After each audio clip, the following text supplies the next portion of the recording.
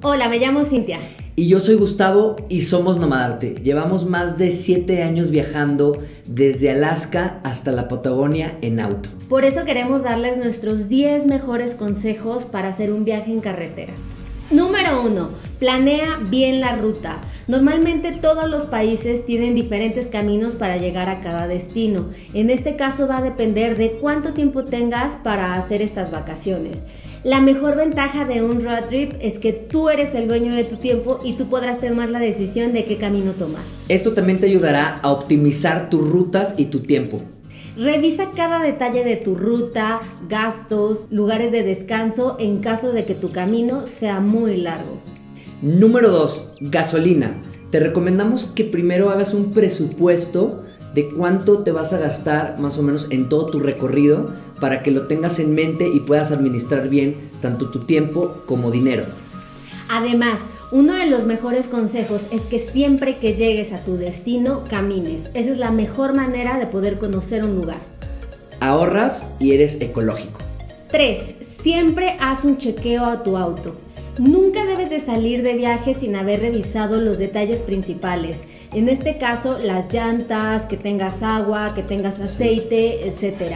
Normalmente ya los autos nuevos traen miles de sensores que te van avisando cada detalle, pero si en tu caso es un auto viejo, como, el de nosotros. entonces hazlo manualmente. Cada parada que hagas, ya sea para cargar gasolina, para ir al baño o simplemente estirar tus piernas, es una buena oportunidad para que revises tu auto. También te recomendamos que si tienes un viaje largo, previo al viaje le hagas cambio de aceite o todos los mantenimientos pertinentes para que, para que no te falle o pase algo, un percance en la ruta. Número 4. Descansa muy bien. A lo mejor este punto es un poco obvio, pero es necesario que estés con toda la pila y al 100 y más cuando son trayectos muy largos, porque hay muchas carreteras que posiblemente suelen ser muy agotadoras porque son muy rectas o porque tienen un grado de dificultad. Entonces, siempre estar despierto y atento va a ser tu mejor seguro de vida que vas a tener al volante. Número 5. Evita manejar de noche. Nosotros somos enemigos de salir de viaje cuando ya está oscuro. Además de que se vuelve todo un poco más inseguro, los traileros es el momento en el que salen también a carretera, tú también pierdes un poco como de reacción para poder evitar accidentes o tal vez se te puede escapar la salida que tenías que tomar. Entonces, no importa que tus planes se muevan un poquito, no, no importa que tal vez pierdas una noche de hospedaje. Lo más preferible es llegar seguro a tu destino e intentar hacerlo siempre de día. Número 6. Elige muy bien a tu copiloto. Yo la verdad tengo al mejor copiloto que hay. Desde 7 años que llevamos viajando, yo creo que se ha dormido 3 veces en la ruta. Entonces, es indispensable que siempre esté alerta un buen copiloto Además, somos los responsables de poner buena música, de hacer plática o tal vez un podcast. Y también ellos te pueden ayudar a guiarte con el GPS, a preguntar o cositas así. Entonces, somos los ojos que ven pequeños detalles que a lo mejor el conductor no está al 100 por estar cuidando el camino. O ayudarte a no quedarte dormido también. Número 7. Disfruta el camino y no la meta. Nosotros estamos 100% convencidos de que muchas veces lo que vas encontrando en el camino, los pueblitos en los que te vas deteniendo, la gente que vas conociendo, a veces suele ser mucho más divertido y recuerdas mucho más que el propio destino de viaje.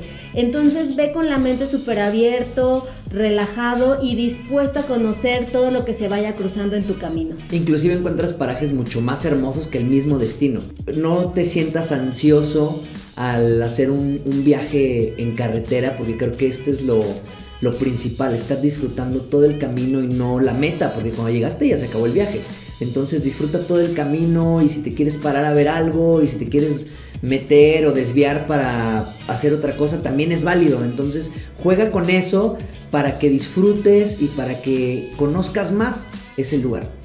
Recuerda que en un road trip tú eres dueño de tu tiempo y tú puedes hacer los cambios que quieras en tus planes. Número 8.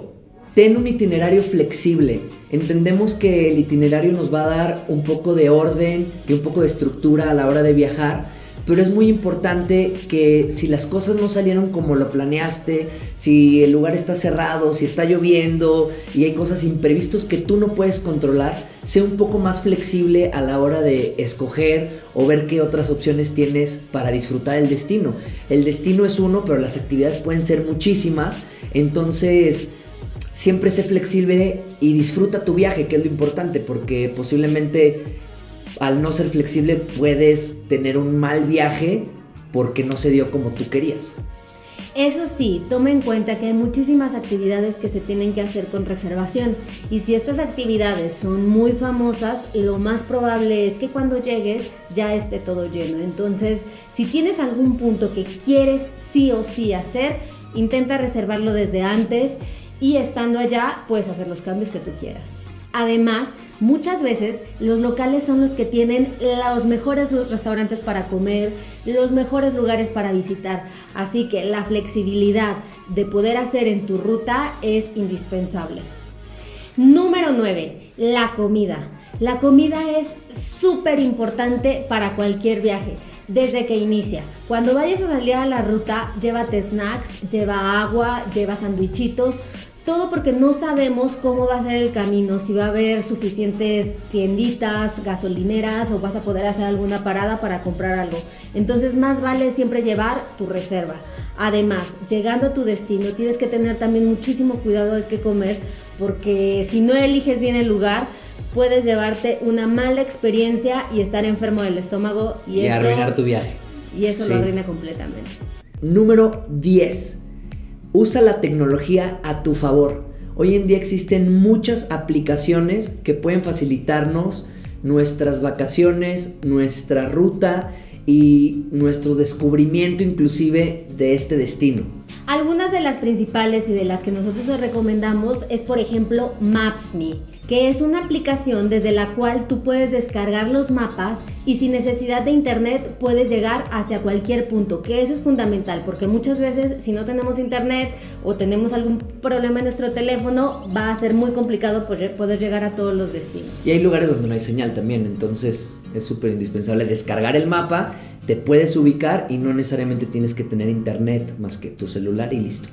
Otra de las aplicaciones que también te recomendamos es TripAdvisor o Yelp, ya que estas cuentan con las mejores recomendaciones para restaurantes y hoteles y que así no te lleves ninguna sorpresa.